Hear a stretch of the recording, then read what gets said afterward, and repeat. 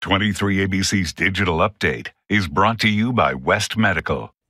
I'm Mike Hart. Here's a look at what we're following on this Thursday. Fire officials will get their first good look at the French fire this morning. It erupted west of Lake Isabella late Wednesday. It's grown very quickly. More than 2,000 acres, 0% containment. As of right now, we don't know the cause. Now, this moved quickly, as I said, engulfing cars and utility poles, some structure damage, and evacuation orders in effect for the Sawmill community. The American Red Cross has an evacuation center set up once again at the Lake Isabella Senior Center, providing food, water, and shelter. They also have a nursing staff on site, and there's an area for pets. The American Red Cross also says if you need to evacuate, try to grab those cell phones and important documents, but they say don't waste time leaving your home. The evacuation center is located on Lake Isabella Boulevard. Meantime, the French fire, one of many burning across the state, the Dixie Fire, as we've been telling you, the, current, the largest fire in the country. Right now, more than 662,000 acres with 35% containment. Now, originally, the state estimated containment by August 30th.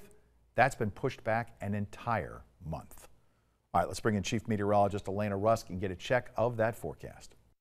Yes, we are sunny and stable for another day as far as the pattern goes, but that northerly flow is pushing down a lot of smoke from fires to the north and then pushing smoke from the French fire into the Kern River Valley area. So with that Dixie fire smoke filling into the valley, it's the French fire smoke that's filling into Isabella and pushing down toward Ridgecrest. As you can see, we're also watching the Walker's fire to our north. With that said, the air quality forecast is in the moderate range today, and the Valley Air Quality says that that air quality kind of comes and goes all day as this pattern shifts shifts throughout the next several hours, but you'll see that it builds us up to the 80s for those kiddos going off to school. That's a pretty nice day here in August, though it is smoky, so you want to keep them inside if they have sensitive lungs. As we take a look at the rest of the county, 90 in Bakersfield this afternoon, about 4 p.m., the same for Taft. 89 in Isabella with the fire conditions continuing, 90s in the desert. And that's a look at some of the stories we're following right now for breaking news, weather, and traffic anytime, anywhere, along with updates on those wildfires. You can download our free mobile and tablet apps. Have a great day.